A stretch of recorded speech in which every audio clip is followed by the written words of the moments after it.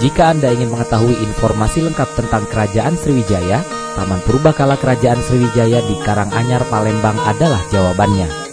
Di lokasi ini banyak benda peninggalan kerajaan maritim yang sempat berjaya di Asia Tenggara itu tersimpan. Situs Karanganyar mulai diteliti awal tahun 80. Hasilnya, lokasi ini telah memperkaya informasi tentang keberadaan kerajaan Sriwijaya di Palembang. Temuan paling berharga terlihat dari foto udara wilayah Karanganyar.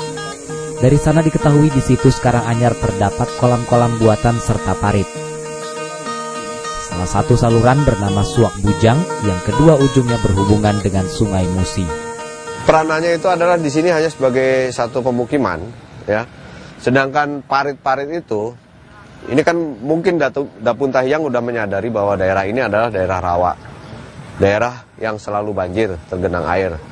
Kemudian parit-paritnya itu itu dipakai untuk mengalirkan air supaya jangan tergenang. Supaya jangan tergenang sehingga dibuat parit-parit semuanya ada tujuh batang parit. Taman Purbakala Kerajaan Sriwijaya diresmikan pemerintah Provinsi Sumatera Selatan sebagai pusat budaya Sriwijaya.